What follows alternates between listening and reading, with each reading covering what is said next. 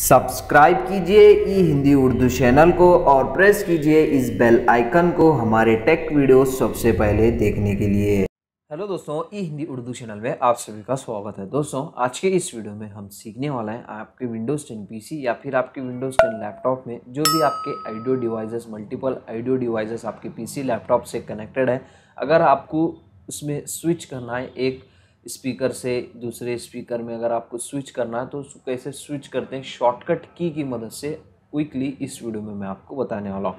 तो जैसे कि फॉर एग्जांपल, मान लीजिए, अगर आप कोई एक ब्लूटूथ स्पीकर भी यूज़ कर रहे हैं आपके लैपटॉप में, अगर आपको क्विकली स्विच करना है आपके लैपटॉप के इनबिल्ड स्पीकर में इसके लिए आपका पहले तो आपका ब्लूटूथ स्पीकर आपके लैपटॉप से डिसकनेक्ट करना पड़ेगा, तब जाके आपका इनबिल्ड लैपटॉप का स्पीकर आप यूज़ कर सकते हैं। मगर एक थर्ड पार्टी टूल की मदद से आपको ये सब चीज़ करने की ज़रूरत नहीं पड़ेगी। आप क्विकली शॉर्टकट की की मदद से ही जो है दोस्तों, आप अपने इनबिल्ड स्पीकर में स्विच कर पाएँगे। तो सबसे पहले हम वो टूल को डाउनलोड और इंस्टॉल कर लेंगे।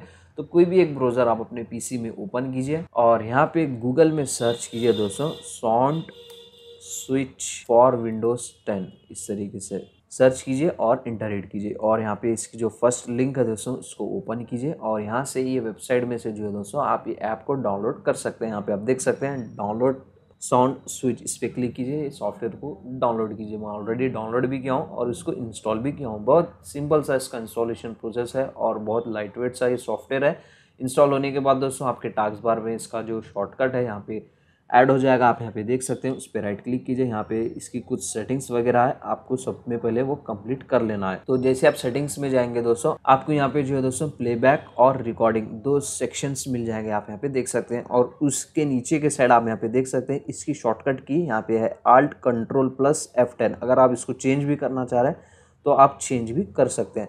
तो सबसे पहले जितने भी आपके आइडियो डिवाइस कनेक्टेड है आपके विंडोज़ टेन के साथ, वो सारे आइडियो डिवाइस को आपको इस तरीके से सेलेक्ट कर देना है। उसके बाद अगर आपको कोई भी एक दूसरे आइडियो डिवाइस में स्विच करना है तो आप जस्ट आप अपनी शॉर्टकट की प्रेस कीजिए। जैसे कि अभी मैं प्रेस कर रहा हूँ, आप यहाँ पे देख सकते हैं, वो ऑटोमेटिकली अपने आप ही स्विच हो रहा है। इसी तरीके से सेम रिकॉर्डिंग में भी आपको करना है। जितने भी ये ऑप्शन है, आप उसको सेलेक्ट कीजिए। और रिकॉर्डिंग के लिए जो है दोस्तों, अलग शॉर्टकट की यहाँ पे दी गई हुई है, आप यहाँ पे देख सकते हैं। आप इसको भी शॉर्टकट की को चेंज करना चाह रहे हैं तो आप यहाँ पे कर सकते हैं।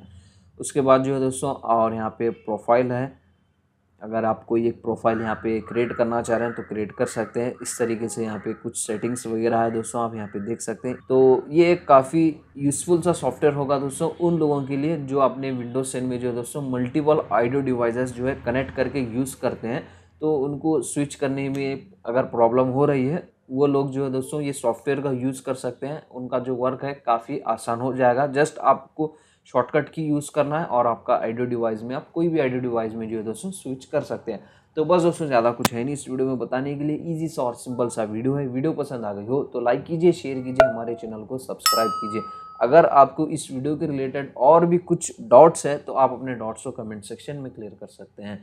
मिलते हैं दोस्तों इसी तरह के और भी इंटरेस्टिंग वीडियोज़ के साथ। Thank you